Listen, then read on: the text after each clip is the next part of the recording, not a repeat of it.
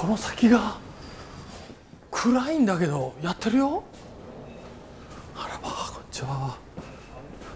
ここいい雰囲気じゃないですか。ねえ行ってみましょう。あら。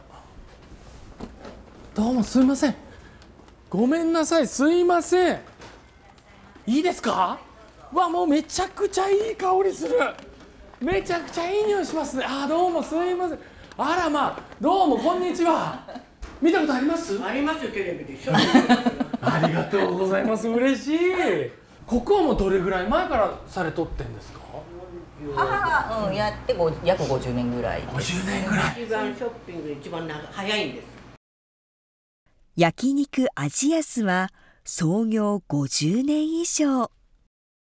今はサッカースタジアムが建つ場所にお店を構えたのが始まりだといいます祖母の代から3代続く人気の焼肉店です。建築物が大好きな中島さん。古い建物の構造に興味津々です。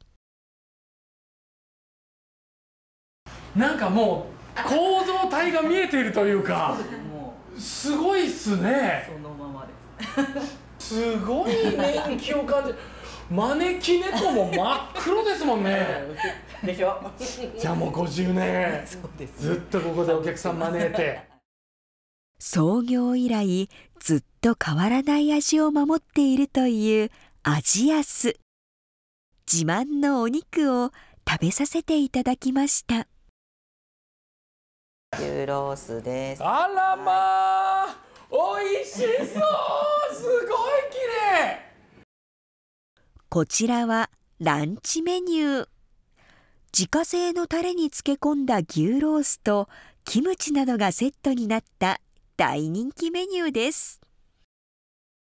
お店自慢の牛ロースの味はいかに？いただきます。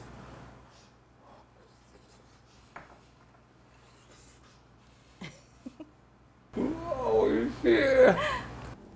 スープなんかも。はい。鶏ガラでちゃんと取ってます。あ鶏ガラでね。こんな感じですって。うわ嬉しい。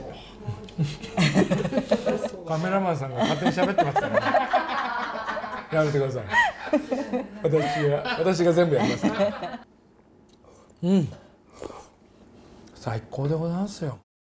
あまりの美味しさに箸が止まらない中島さん。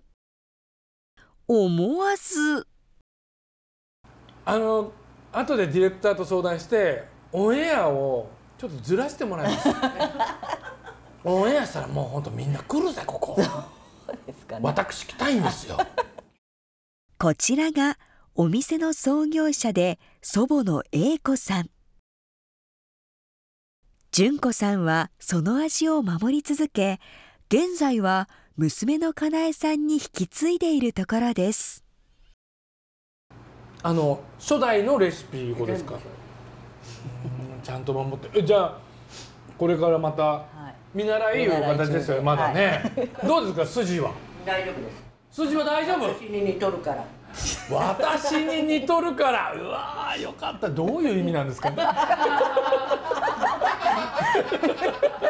どう考えて。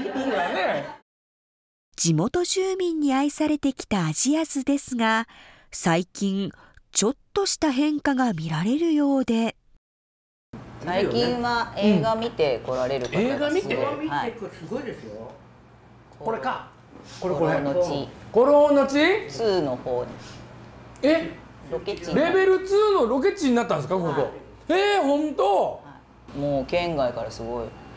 女子が。あそう。そしたらファンになるんじゃないです？そうね。でもねえ何回も来てくれる人もいあます。そう。じゃあきっかけはどうあれなんそうですね。かちょっとここの味に惚れ込んでとか、いいわ。ちなみに映画ファンが必ず座る席がこちら。俳優の鈴木亮平さんがこの辺りに座ったそうです元町ショッピングセンターの古株焼肉店に遠征さん認定でございます。はいごちそうさまでした。お母様近くで見るとますますお綺麗この油が全部うちに来と